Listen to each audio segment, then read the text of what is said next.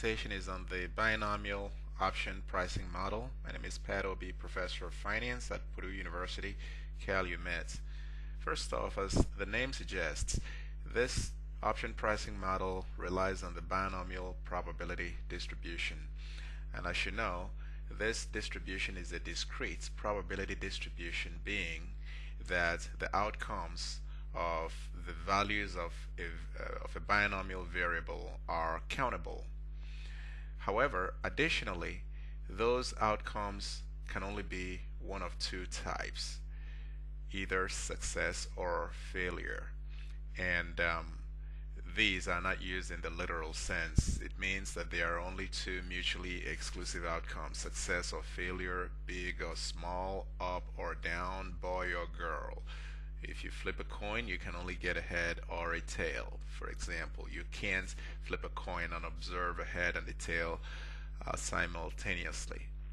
And so the application in stock pricing is that if you invest in a stock in the next time period, the stock would either go up in price or go down in price. And as a result, it observes a binomial behavior.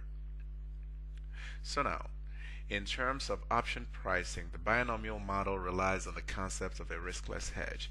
And this is kind of like how it works. I set out this motivation here to help you um, grasp it, at least in the um, elementary sense of it. Consider yourself, all right, you wish to hedge a portfolio of stocks. So you buy a stock, and why would you want to hedge? Well, you want to hedge because you're afraid the stock would go down in price. And so to hedge, upon buying the stock, you write a call. Now, this is a type of covered call hedge. Now, remember, if you write a call and the stock price goes down, the buyer of that call would not exercise, and so you get to keep the call premium that you receive from selling that call. And so if the stock, well, let's look at this first, goes down in price, the hedger loses on the stock but gains on the option. Now, if on the flip side the stock goes up, well, you will lose. Uh, sorry, you will lose on your, that's correct, on your option, but then you gain on the stock. And so you do have an offset, which is what provides the hedge that we speak to here. So now, continuing though, in the context of the binomial model, you're going to create this hedge portfolio.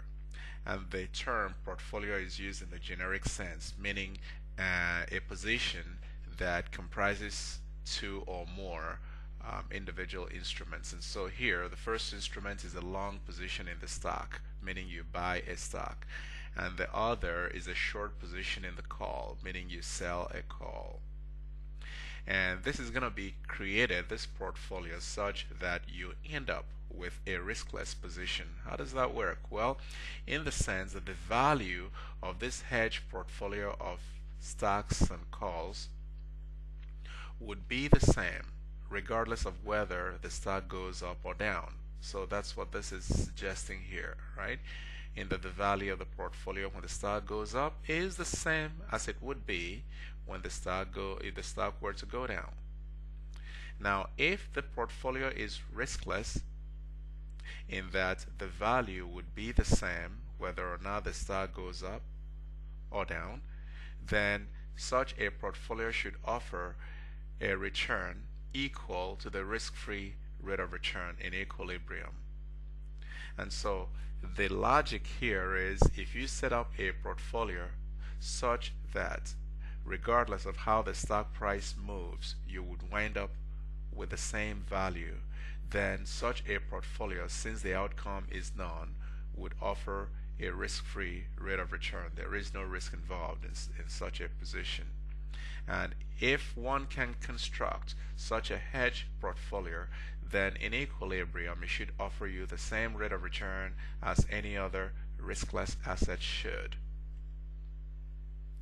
And so, given the five parameters describing an option, the price of a stock, S, volatility, sigma, uh, exercise price or strike price, E, time to expiration T, and finally the risk-free interest rate, one can actually calculate the price of an option satisfying this equilibrium condition.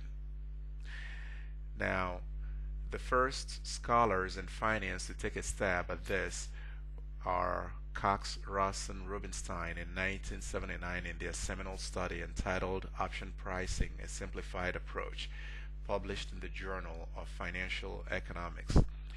This very powerful study sets the path for determining the theoretical price of an option under some rather simplistic assumptions, but also assumptions that are reasonable in the sense that although the model is um, quite simple to comprehend, provides uh, rather robust um, option pricing results as you're about to see. But in this introductory presentation, we explain the motivation, beginning with the methodology that they employed. Here, the valuation process is iterative, using a binomial tree. Now, this binomial tree, as I'm going to show shortly, starts um, at each endpoint of a lattice. You know, the lattice are the forks that map that mark the um, nature of the tree. The endpoint of a lattice is called a node, and then you're going to work backwards through the tree up to the first node, which is where you determine the value of the option. So here's an illustration of it, of a binomial tree. So here, there are three time periods shown. Let's say a stock starts out at the price of 20. So based on the binomial concept, the outcome in the next time period would either be up or down. So it can either go up to say $24 or down to $16. Here, um, we deliberately assume an upside move of 1.2 and a downside move of 0.8. Now then, if it moves up to 24 in the first time period, then in the second time period it can either move up to 28.8 or down to 19.20. Now in the same vein, if it moved down to 16 in the first time period, then in the second time period it can either move up to 19.20 or down to 12.8. And finally, in the third time period, you see again how the lattice moves. So these are the lattices, the arrows that you see here. And the end point of the arrow where each of these possible stock prices are determined refers to the node. So in option pricing, we're going to say, well, let's start from here, for example, where the stock ends up at 34.56 or 23.04. And let's determine the intrinsic value of the option. And then we're going to work it backwards to time 2 and then work it backwards again to time 1 and finally backwards to time 0 which is where we are. And that's the point. That's the point in time where we seek to determine the theoretical price of an option. A numeric example that shows how this is determined will be pursued in the next video entitled the one period binomial model